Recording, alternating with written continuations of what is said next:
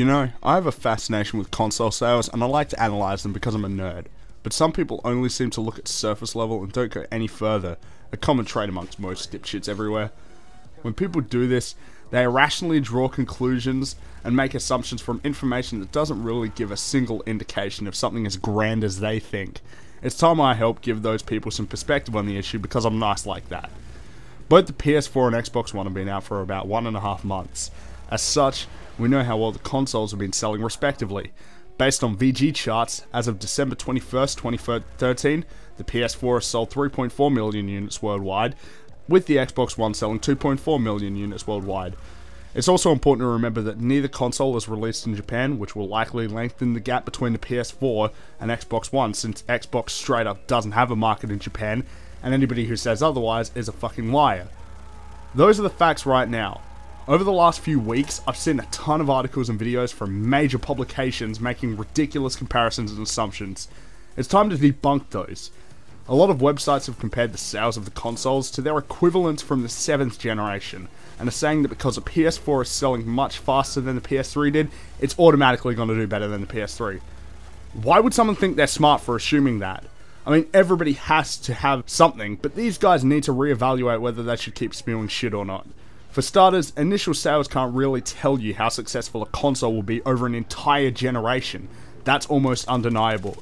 The 360 was kicking the PS3's ass at the beginning, but by the end, the PS3 outsold the 360, so shit can change over time. More specifically to the issue, games have become more mainstream with every new generation, attracting casuals to gaming, so they're probably going to be pretty successful at launch, and most of them will probably sell better than their predecessors purely because there's a bigger market. This happens every time, you don't need to be smart to know this. But at the same time, these guys need to realize that pre-orders weren't really a thing in 2006. Initial sales for games are typically sky high now, because it's almost common practice for people to just pre-order stuff. So, they'll drop off fast in a couple of weeks. The same will probably apply for the consoles. Now, if you're a complete fucking moron, you may say that the PS4 is already winning the console war because it's selling faster than the Xbox One at launch. First off, one month out of an entire generation is minute, and it can't tell you anything about the future of either console outside of maybe the first year or two. Also, the actual sales of the consoles don't mean a thing if the company isn't moving software.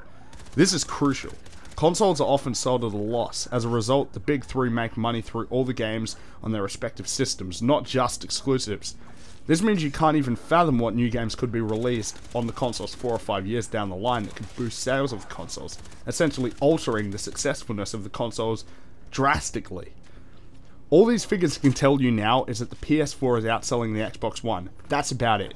You may be able to extract a little bit more from the information in the short term, but making predictions five years in advance based on a month's worth of data for a highly erratic industry is absurd and just stupid. For those of you who make these assumptions, just chill out and play the games. Don't try to interpret figures that you don't understand in a pathetic attempt to seem smart. It just makes you look like an even bigger tool.